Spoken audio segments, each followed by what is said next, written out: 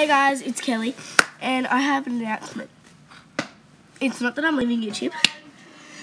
I won't be able to post videos for three days because I'm going away on a school excursion for two nights and three days. So that's my. and as you can see, I have my two friends here, and she's coming away with me because she's in year five with me. So, I had the yuckiest. let's do it. So, bye guys.